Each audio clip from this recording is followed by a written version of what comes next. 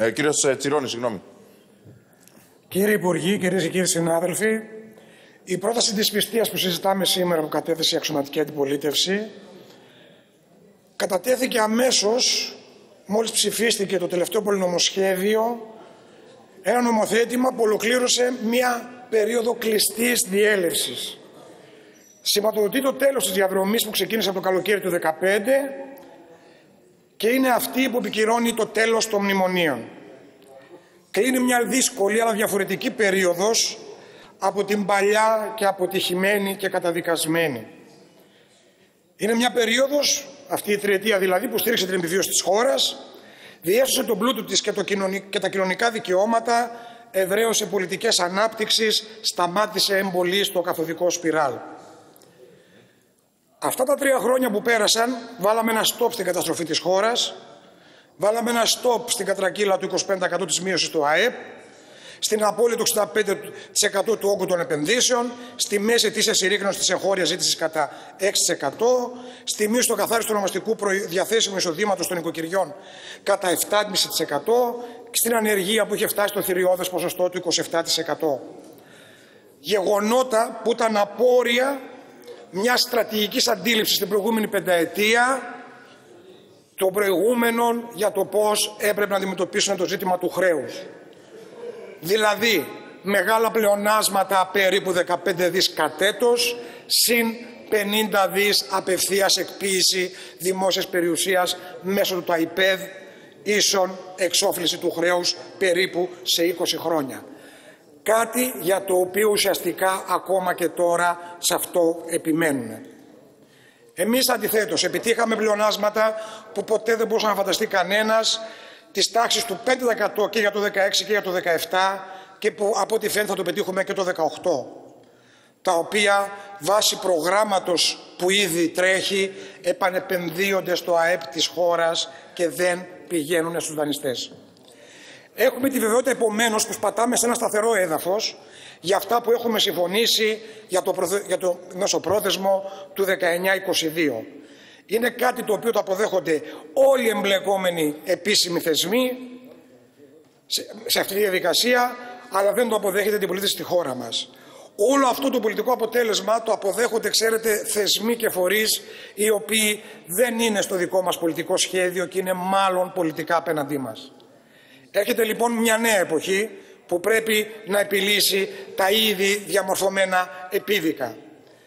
Τη ρύθμιση του χρέους και τη βιώσιμη ανάπτυξη, τα πλεονάσματα και τις αναγκαίες μεταρρυθμίσεις, την προστασία του δημόσιου πλούτου και του δημόσιου χώρου, τα κοινωνικά και εργατικά δικαιώματα. Η ανάπτυξη έχει δημιουργήσει ένα ικανοποιητικότατο επίπεδο θετικών αναφορών, όπως τα πλεονάσματα, οι επενδύσεις, η μείωση της ανεργίας, οι εξαγωγές, και κυρίως το απόθεμα για πρώτη φορά του εκπληκτικού ποσού των 30 δις ευρώ περίπου. Η δημόσια υγεία επίσης έχει διασωθεί και επανασχεδιαστεί με σημαντικό το γεγονός ένταξης σε αυτήν, στην περίθαλψη δηλαδή χιλιάδων ανασφάλιστων. Στην ενέργεια, στους τρεις βασικούς πυλώνες ενεργειακής μας παραγωγής, ΔΕΗ, ΑΔΜΙΑ και ΔΕΣΦΑ, τους επαναφέραμε στο δημόσιο και τους μεγενθύνουμε οικονομικά. Στη νέα λοιπόν αυτή εποχή, σε αυτό το διάλογο είμαστε μόνοι μας. Προσδοκούμε όμως τη ρύθμιση του χρέους. Διότι είναι γεγονός πως τα επόμενα χρόνια και το 19 και το 20 και το 21 και το 22 αυτό που ήδη μας επιφυλάχτηκε από τις προηγούμενες πολιτικές είναι πως πρέπει να πληρώνουμε τουλάχιστον κατ' έτος ετοκοχρεωλήσια 19 δις ευρώ. Αυτό ισχυριζόταν και ήταν το πρόγραμμά τους και πριν το 2015 αυτό τελικά ισχυρίζονται και για το 19 και μετά στο μεσοπρόθεσμο.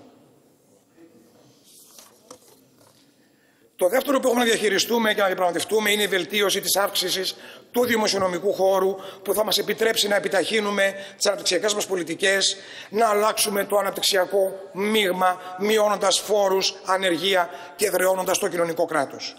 Θέλουμε επίσης να επαναφέρουμε σε κανονικότητα τα δικαιώματα του κόσμου της εργασίας, τις συλλογικές συμβάσεις και την αύξηση του κατώτατου μισθού. Ταυτόχρονα επιζητούμε αλλαγή του εργασιακού προτύπου προς, προστρέχοντας στις βέλτιστες ευρωπαϊκές πρακτικές. Με λίγα λόγια, έχουμε μπροστά μας μια πρόκληση σε μια νέα εποχή που εμείς μπορούμε και θέλουμε να τη διαμορφώνουμε. Διεκδικούμε ένα συγκεκριμένο πολιτικό σχέδιο ανασυγκρότησης και της οικονομίας και του κράτους. Καταθέτουμε συγκεκριμένες προτάσεις και κάνουμε συγκεκριμένες σκέψεις για το πώς θα πετύχουμε αυτό. Αναμένουμε λοιπόν, ίσως αδίκως, προτάσεις ή έστω και σκέψεις από τις υπόλοιπες πολιτικές δυνάμεις σε αυτά τα σημαντικά επίπεδα που μέχρι τώρα πρέπει να παρατηρήσω ότι δεν ακούσαμε σχεδόν τίποτα. Στην προοπτική λοιπόν της στρατηγικής ανεξάρτησης της χώρας και της οικονομίας, αυτήν ακριβώς την, την, την περίοδο που συμβαίνουν όλα αυτά, ξεδιπλώθηκε και η πρόκληση της πιθανότητας λύσης του προβλήματος με τη γείτονα Φύρομ και εμείς βεβαίως καταποκριθήκαμε. Πιστεύουμε πως είναι βαθιά πατριωτικό η εξυπηρέτηση της εθνικής, και η εξυπηρέτηση μιας εθνικής γραμμής και η ιστορική διασφάλιση των θέσεων της χώρας, κρατώντας πάντα σταθερή αυτή την, την εθνική γραμμή. Σύνθετη ονομασία με γεωγραφικό προσδιορισμό, έργα όμνες και σταγματική αναθεώρηση προς άρση του αλυτρωτισμού.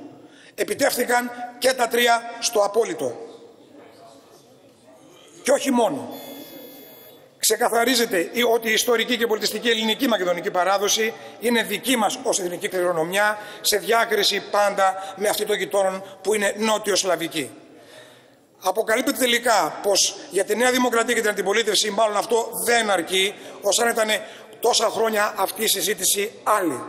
Και σε δύο περιπτώσεις, δηλαδή και για εξωτερικά θέματα αλλά και για εξωτερικά εγγράφεται η ίδια πολιτική συμπεριφορά από την αντιπολίτευση απουσία της παραμικρής πρότασης θέσεων είτε στόχων για ανεπτυξιακή στρατηγική είτε για εξωτερική πολιτική για το μακεδονικό. Απλώς μηδενιστική κριτική και άρνηση να πάρουν οποιαδήποτε θέση.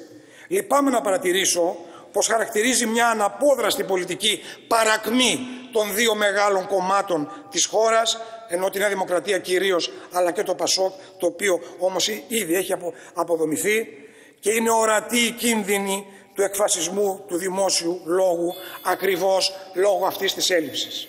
Τελειώνω κύριε Πρόεδρε, ένα λεπτό παρακαλώ. Είναι προφανές πως δεν είναι σε θέση να δημιουργήσουν νέες πολιτικές, νέα οράματα, να τα αποκριθούν θετικά στο νέο πολιτικό περιβάλλον. Οι πολιτικές της υποταγής είναι η ταυτότητά τους και η αιμονή στο 14 είναι συνέχιση μιας επι... επικίνδυνης ακροδεξιάς κυριαρχίας. Οι πολιτικές αξιοπρέπειας που εμείς αναζητούμε είναι ενεργές και παρούσες, κατά αυτοχρόνως είναι και εφικτές. Μας καθιστούν ένα χρήσιμο επεξεργαστή των λαϊκών ετοιμάτων. Είμαστε μια μεγάλη, πρόθυμη πολιτική δύναμη προοδευτικού μετασχηματισμού για τη χώρα αλλά και για όλη τη Βαλκανική. Αφήνουμε πίσω τις πολιτικές των νεοφιλελεύθερων ελίτ που χρεοκόπησαν τη χώρα. Αφήνουμε πίσω τις πολιτικές της πατροδοκαπηλείας και του εθνικισμού που καταδίκασαν τα Βαλκάνια στη βία, τον φόβο και τη μυσαλλοδοξία. Οικοδομούμε με, με μια μεγάλη νέα ορμή, μια ανοιχτή, συνεργατική και δίκαιη κοινωνία στην Ελλάδα και στα Βαλκάνια του μέλλοντός μας. Σας ευχαριστώ. Ευχαριστούμε πάρα πολύ κύριε Δημητριάδη. Παρακαλώ πολύ την κυρία Βούλτεψη.